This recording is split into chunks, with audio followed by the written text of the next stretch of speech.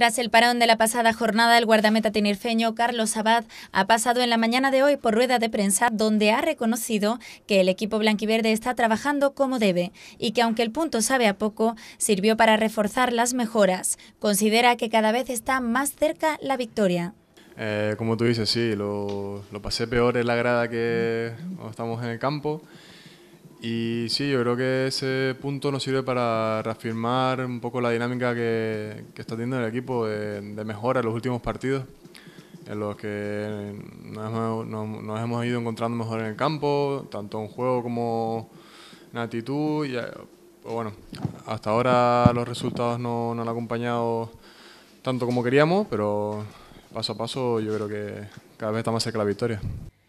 El cancerbero que llegó a las filas del Córdoba en el mercado de fichajes de este verano ha sido hasta ahora el portero en quien Sandoval ha depositado su confianza. Esta semana vuelve de nuevo a defender la puerta del Córdoba Club de Fútbol tras un encuentro, el del Tenerife, donde quedó claro con la actuación de Alberto que la portería del Córdoba tiene alternativas. Eh, Alberto estuvo muy bien, como, como esperaba de él. Eh, trabaja con nosotros ya como un profesional más, está integrado a la plantilla y con la ayuda de todo el equipo lo hizo como se esperaba.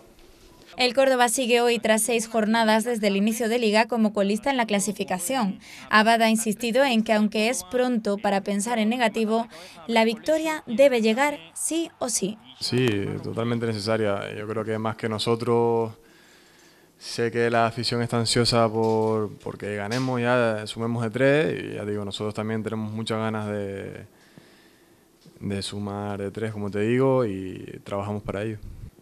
Creo que es un poco pronto para hablar de que si estamos descolgados o no. Partimos la temporada de una situación difícil y éramos todos conscientes de que esto no iba a ser para nada fácil, pero ya te digo, yo creo que cada vez la victoria está más cerca, espero que sea este fin de... Y bueno, si no, será la siguiente, estamos trabajando para, para ganar.